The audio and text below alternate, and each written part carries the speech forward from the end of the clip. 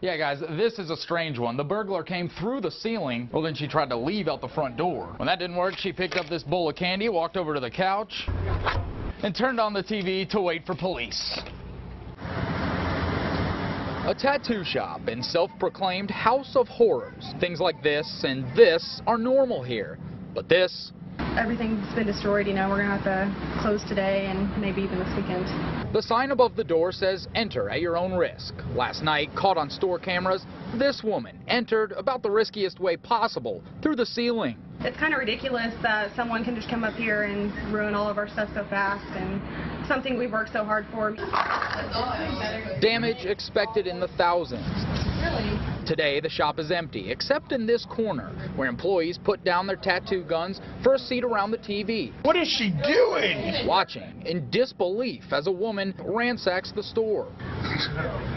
This is like almost like Jerry Springer. But if you think all this is pretty strange, it's about to get weirder. Here, she grabs a seat on the couch to watch TV and wait for police. She scribbles these messages to officers. This one reads, I'm not living in sin.